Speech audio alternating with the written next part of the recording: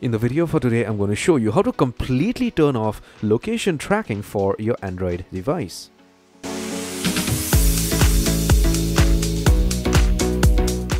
Now, there are several steps that you need to follow to ensure that your Android phone is not being tracked. So, I want you to watch my video till the end. And if you liked the video, by the end, give my video a thumbs up, subscribe, and share the video further. The first thing is get hold of your Android device. And once you do that, I want you to get to settings directly. Once you get to settings, just do a search for location. Just put in that word out here I'm sure you have a search box uh, in your settings so you could just put in location. And once you do that you get a lot of options for this word. Location access location accuracy location location permission manager and stuffs like that. So I want you to click on the first option location access. So once you do that you get directed to the screen. You scroll down a bit and then you click on location access and then you turn this off. So under location access basically you are going to see whatever apps have access to your location.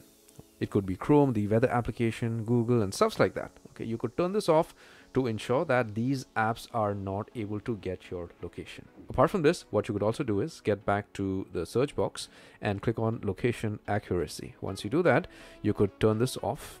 This also furthers the chance of your phone to not be traced you get back to the search screen out here and then you go ahead and uh, click on location services. Here you're going to see all the services that have your location details.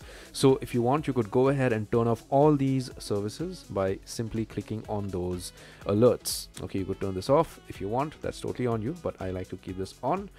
Uh, you could go ahead and uh, turn this off also. Wi-Fi scanning this is automatically turned on by default that's totally on you so whatever you want to turn off you could turn off out here after that you scroll down a bit and click on Google location sharing you get directed to the screen and uh, you could see if your location is being shared by Google if it is being shared by Google you could turn it off if you haven't yet shared your location with anybody else on Google, it is going to be off by default. Okay, so you get back to the screen again. The next thing is use location. You click on that option and you could turn this off. Now, apart from all those settings that I showed you, what you could also do is get to Google Maps on your phone and then click on the menu icon, get to settings.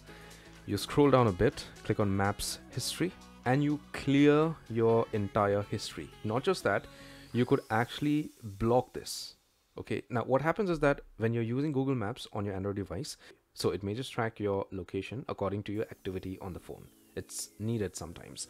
So what you could do is you could not only delete the history for your location but you could also block that okay so what you could do is click on controls then you click on turn off or turn off and delete activity so you could go ahead and select the second option and uh, turn off this option and delete your history also. Apart from this if you want you could also go ahead and use a privacy oriented operating system for an android device which is uh, graphene os so if you want you could get to the website for graphene. It is uh, grapheneos.org and you click on install graphene os get to this page and you are going to get step-by-step -step instructions about how you could install this on your android phone. Now when you do all of these things that i showed you in my video for today you are absolutely going to get into ghost mode. Completely private and location tracking is going to be off for your android device. Take care my friend